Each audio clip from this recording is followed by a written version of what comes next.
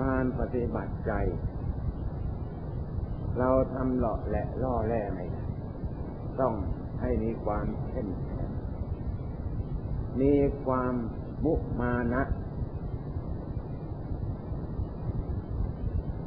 ให้ใจนั้นล่าเริง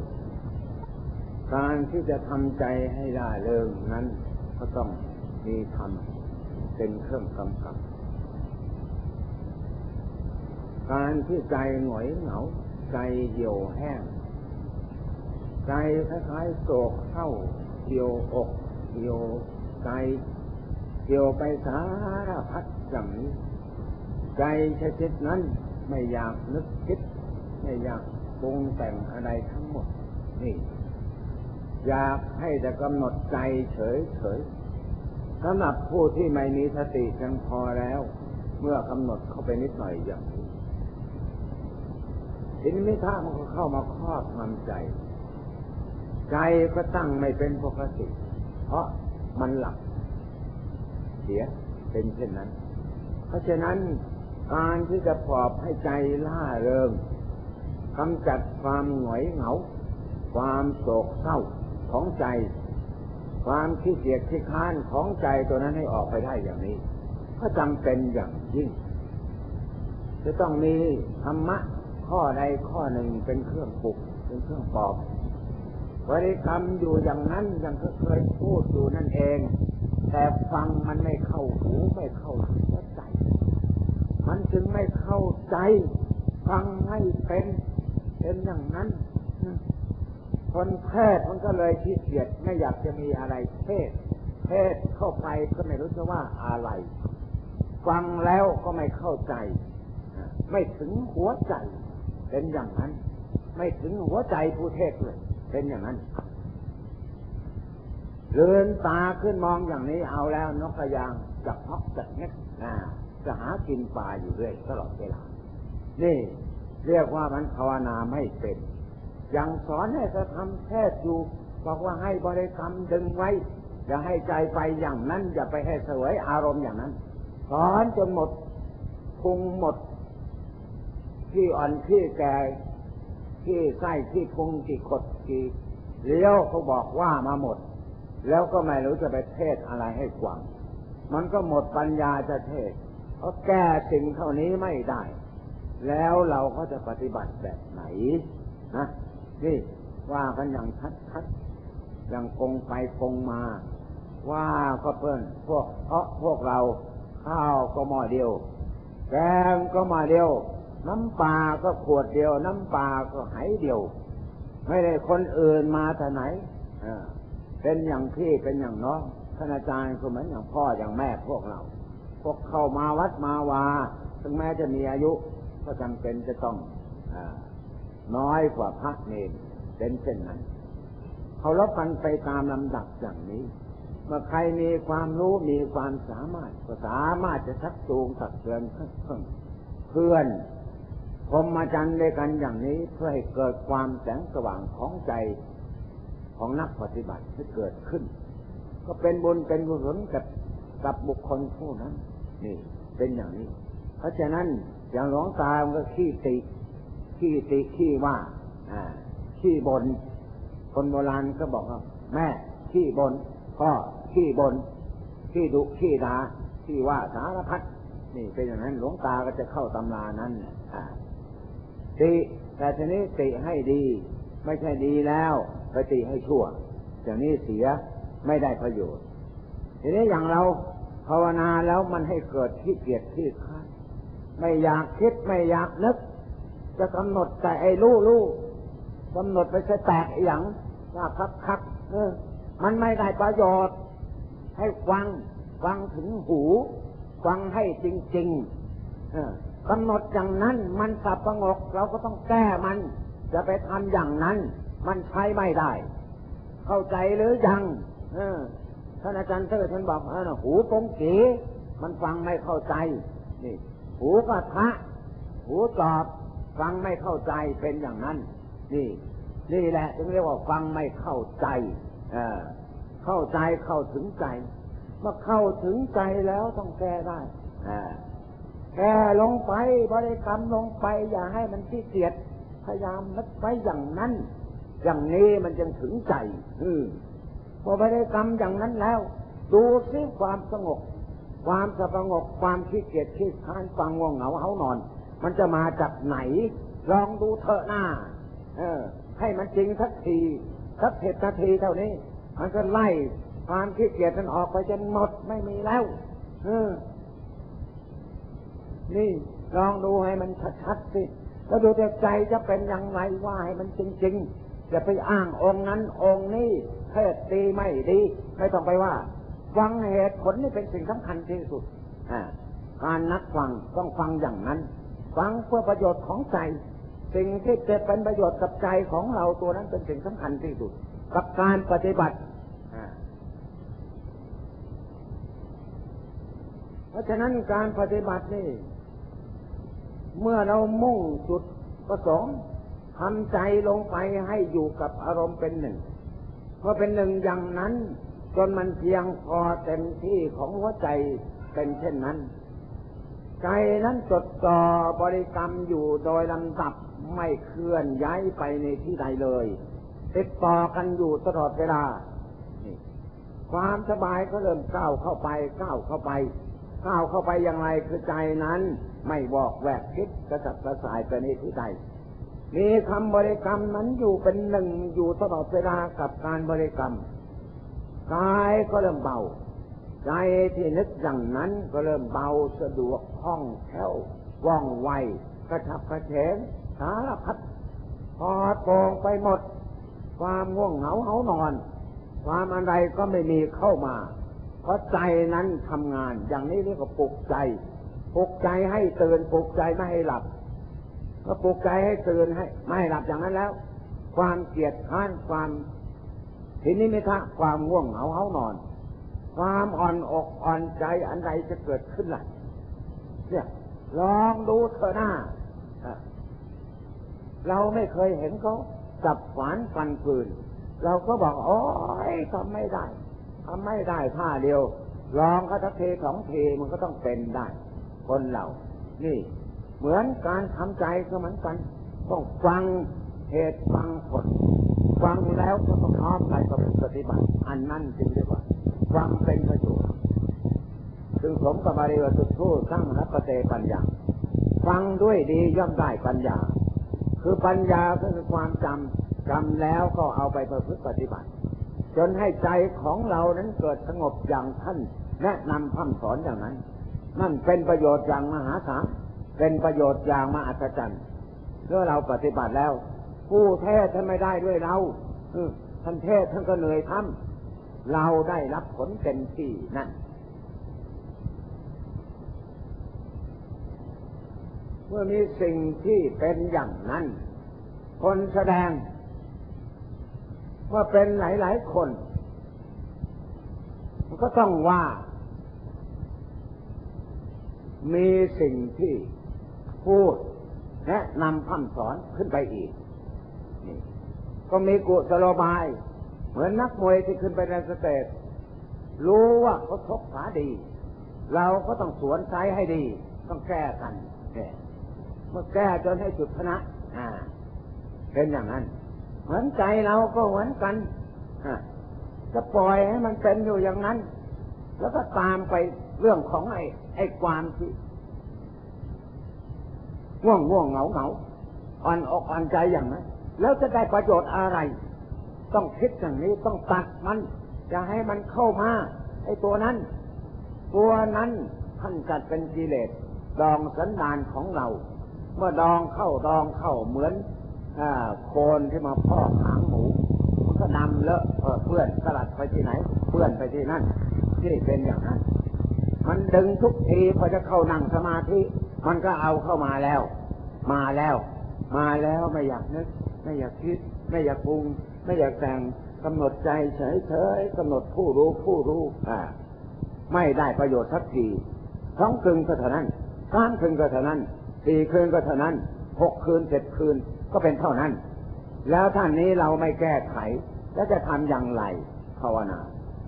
ทำอย่างนี้ไม่ได้ แล้วก็เรียกว่าภาวนา ไม่เป็นเท่านั้นเอง ลงเอวังอย่างนั้นนี่ทีนี้เมื่อเราภาวนาจดจ้องเพียรพยายามอยู่จนใจนั้นเกิดความสงบ ใจที่ละปล่อยวางอดีตอนาคต แม้ปัจจุบันธรรม ที่การบริกรรมอยู่ก็ต้องวางตัวนั้นลงไป เมื่อวางลงไปตัวนั้นแล้ว เมื่อฝึกหัดจนชำนิชำนาญได้ทุกคืนทุกคืนเจ็ดคืนแปดคืนสิบคืนอย่างนี้ เราก็ต้องน้อมไปพิจารณาแต่การค้นคว้าเป็นพิจารณานี้บุคคลผู้เป็นสมาธิ มันย่อมมีจิตอันหนึ่งที่เกียดที่ข้านไม่อยากนึกอยากคิด นี่ เป็นธรรมชาติของความสุขตัวสุขตัวสบายตัวนั้นเอง เพราะไอ้ความไม่อยากคิดอยากนึก เพราะความเข้าไปสบายกับความสงบของใจ ที่ปล่อยจากเรื่องของใจทั้งหมดแล้วไม่มีสิ่งใดเข้ามาเจือปนใจ ใจอย่างนั้นจะเรียกว่าใจเป็นสมาธิ แต่เมื่อเสวยสมาธิมากเขาโกชัดทักความเกียดข้าน ความง่วงเหงาเขานอน ตัวนั้นเป็นตัวข้าศึกก็จะตามมาล้างผานสมาธิของเรา ให้เสื่อมเสียลงไป นี่ เป็นอย่างนั้น เพราะฉะนั้นเมื่อใจของเราเกิดสงบอย่างนั้นก็ต้องค้นคว้าทีนี้พิจารณาลงไปจะได้นอนใจ ค้นลงไปกายนี่ถ้าค้นแล้ว ยิ่งสว่างสวัยยิ่งทำให้ใจหนักแน่น แต่ค้นอย่างนั้น ค้นลงไปอย่างนั้น ลึกไปตามหยับหยาบของ การค้นคว้าทีนี้พิจารณา ก็อย่างเคยบรรยายอยู่บ่อยๆ ซ้ำๆซักผ้าอยู่อย่างนี้ถ้าแกงหม้อนี้แกงทุกวันก็ขายไม่ได้หลวงตาไม่ค่อยจะมีปฏิภาณก็จะรอซ้ำๆซักผ้าอย่างนั้นเอง เออ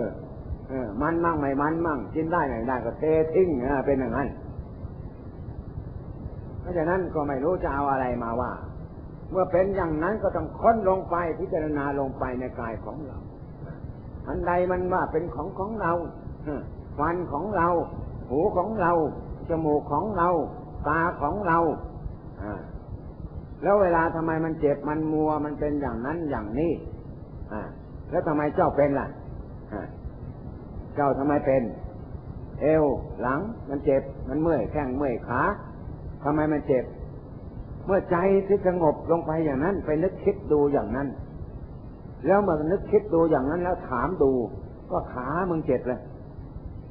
มันก็ไม่ได้บอกนะอ่ามันไม่ได้บอกเลยว่าขามันเจ็บ ไอ้เจ้าใจตัวนี้ไปดิ้นรนอยากหายเถอะ หายเถอะ หายเถอะอยู่ แน่แน่แน่แน่แน่แน่อะไรมันเข้ามางูมันแลบดิ้นออกไปแล้วนั่นระวัง มันจะเห็นเขียดอ่าเขียดมันเก็ดเก็ดเก็ดอยู่ที่แข้งขาเนี่ยมันจะไปกัด จะไปกัดเขียด อ่า นี่ เพราะมันขาด ขาดตัวหลัก หลักคือตัวปัญญา ไม่ค้นคว้าพินิจพิจารณา เนี่ย เป็นอย่างนั้น เพราะฉะนั้นต้องเอาเมื่อใจที่มันสงบแล้วต้องค้นคว้าพินิจพิจารณาให้ละเอียดเราออกค้นลงไปพิจารณาลงไปเมื่อค้นลงไปก็ต้องมีจุดสำคัญ จุดสำคัญคืออะไร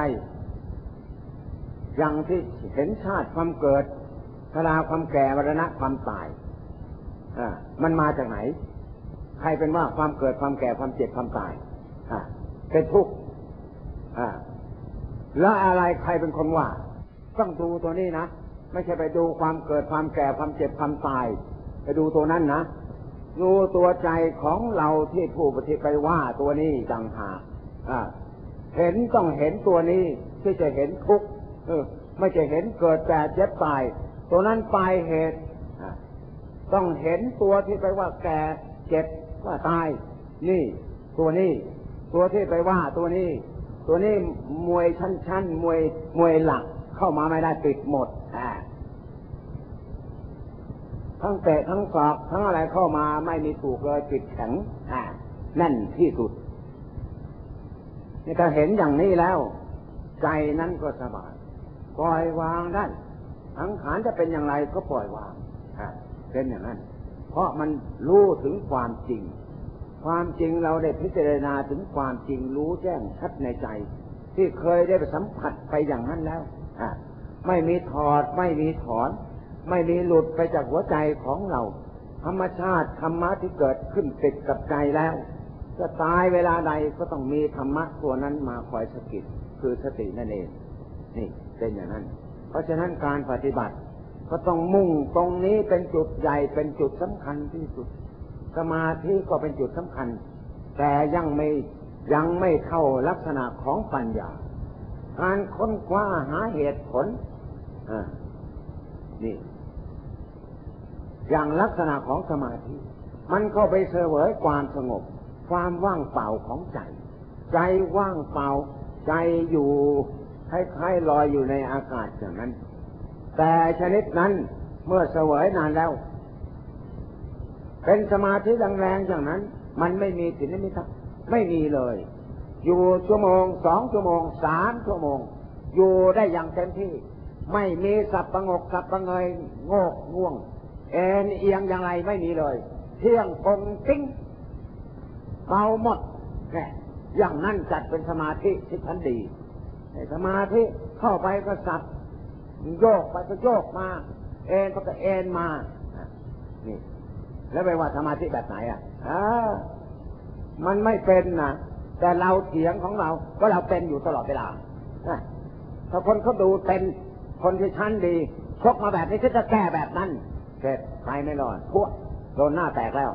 นับสินี่ นี่เป็นอย่างนั้น เพราะฉะนั้นต้องแก้ของเราหลวงตาเนี่ยมันขี้ติขี้ขโมยขี้ขโมยทุกอย่าง ขโมยดูขโมยมองขโมยสารพัดเพราะฉะนั้นจึงกล้าพูดอ่า เป็นอย่างนั้น เราจะว่าเราดีต้องแก้ให้มันดี ให้มันดีขึ้นมา สมาธิต้องจริง ๆ เป็นอย่างนั้นนี่แหละเพราะฉะนั้นยังว่าการปฏิบัติต้องแก้จุดนี้ พวกเราก็เหมือนกัน พวกโยมพวกพวก ในช่องไม่ชีก็ต้องพากันตั้งอกตั้งใจ ชีวิตเป็นเป็นสิ่งที่แน่แน่ไม่แน่นอน เดี๋ยวคนนั้นตายเดี๋ยวคนนี้ตาย ตายเวียนเข้ามาเรื่อยๆอย่างหลวงตาเทศก็จะจะตายทุกวันเออไม่เห็นมันตายเนี่ย เพราะฉะนั้นยังว่าให้อุตส่าห์ภาคเพียนพยายามลองตั้งใจดูจริงๆสามคืน ขณะที่มานั่งฟังเทศอย่างนี้ก็บริกรรมพุทโธพุทโธพุทโธ เพื่ออะไรอันหนึ่งอย่างเนี้ยลองดูเถอะว่ามันจะดีขนาดไหน แต่ไม่เอาสักทีว่าถึงขนาดนี้ ถ้าเป็นลูกเป็นเต้าต้องเช่นหลังลายกันแล้วอะมันว่าอยากสอนยากนักต้องฟาดลงไป นี่เป็นอย่างนั้น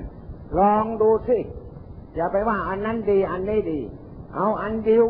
เอาอันเดียว เอาจุดเดียวใจอยู่จุดเดียวใจก็ต้องลง นี่นี่ลงเมื่อไหร่ก็เห็นผลนี่ทำหลอดแหละ บริกรรมมั่งไม่บริกรรมมั่งนอนคิดไปนั่นคิดไปนี่ มันก็เลยไม่รวมสักทีเสียเวลาหมดคืน อ่า นี่ ไม่ลงเลยนี่เป็นอย่างนั้น แล้วก็ว่า ภาวนา ภาวนาภาวนาอะไรก็ไม่รู้ภาวนาขี้เกียจนี่เป็นอย่างนั้นเพราะฉะนั้นจุดมุ่งหมายพุ่งลงไป อย่าได้ท้อถอยบริกรรมอย่างนั้น ดูที่มันจะตายไหมให้มันว่าอย่างนั้นอยู่อไม่ท้อถอย นึกอยู่อย่างนั้น ใจมันก็ต้องลงอย่างครูบาอาจารย์ท่านก็ว่าแบบนี้เหมือนกันบริกรรมอยู่อย่างนั้น ไม่ต้องถอยมันแล้วมันจะไปไหน เมื่อมันไปไหนไม่ได้ มันก็อยู่กับพุทโธเมื่ออยู่พุทโธนานเข้านานเข้ามันพอของมัน มันก็วางพุทโธวางพุทโธใจอยู่กับอะไรล่ะ แน่ใจอยู่กับความสงบสิความวางเฉยในอารมณ์ทั้งหมด ใจไม่ คิดไปในอดีตอนาคต มีถีจิธรรมที่เป็นประจำใจคือความสงบเท่านั้นตั้งอยู่ที่จิตในความรู้สึกตัวนั้นรู้กษัตริย์รู้ รู้อยู่ในความสงบตัวนั้นนั่นเต็มที่อย่างนั้นจึงเรียกว่าเป็นสมาธิสมาธิต้องอย่างนั้นนะนั่งเป็นชั่วโมงก็นั่งได้สบายสบายไม่เมื่อยไม่เจ็บ ไม่ปวด มันก็มีบ้างเป็นธรรมนาของสังขารแต่ก็อยู่ได้เป็นอย่างนั้น นี่ เพราะฉะนั้นต้องตั้งใจ ต้องตั้งใจจนให้มันได้ชิมรสของสมาธินี่ เมื่อได้สมาธิแล้ว ก็ต้องค้นคว้าพิจารณาทั้งขาลธรรม สังขารธรรมก็อยู่ในตัวเราพระไตรปิฎกแปดหมื่นสี่พันพระธรรมขันธ์เนี่ยขนผมเล็กฟันหนังพิจารณาขึ้นจากเบื้องบนจากเบื้องบนลงไปเรื่องล่างเบื้องล่างพิจารณาขึ้นมาเบื้องบน นุโลมปฏิโลมถอยเข้าถอยออกอย่างนี้ เมื่อใจมันพิจารณาพอ แล้วมันเห็นพอแล้วมันก็วาง วางผู้ไปพิจารณา มันขาดไปจากจิตของเรา จิตก็ตั้งเป็นสีติธรรมดวงเดียวใสอย่างนั้นแจ้งชัดอย่างนั้นก็ปล่อยวางเรื่องทั้งหมดอ่านี่ก็มีเท่านี้การปฏิบัติ ไม่ใช่หมดแล้ว ก็ต่อวันรุ่งขึ้นก็ต้องเข้าไปพิจารณาอย่างนั้นอีก เพราะมันเป็นมีหารธรรมเป็นเครื่องอยู่ ของอริยเจ้าทั้งหลายท่านก็ต้องปฏิบัติอย่างนั้น ไม่ใช่ปุ๊บจะเข้าไปเสวยปุ๊บจะเข้าไปเสวยถ้ามลักษณะของคนขี้เกียจอ่านี่นะเพราะฉะนั้นถึงว่านี่ เพราะฉะนั้นเมื่อพวกเราทั้งหลายได้กระดับตับฟังธรรมะ จงใช้โยนิโสนมัติการนำไปถูกกองพินิจพิจรณา เมื่อสิ่งใดที่จะเกิดประโยชน์แก่การปฏิบัติของเราแล้ว จงโอมันในโกน้อมนำไปพินิจพิจารณา แล้วก็ประพฤติปฏิบัติ ต่อนนั้นไปก็จะได้บังเกิดความสุขความเจริญ งอกงามในสัมมาปฏิบัติของเรา ต่อนนั้นไปเราก็จะได้พบ ความสุขความเจริญอันแท้จริงในข้อปฏิบัติคำสั่งสอนขององค์สมเด็จพระสัมมาสัมพุทธเจ้า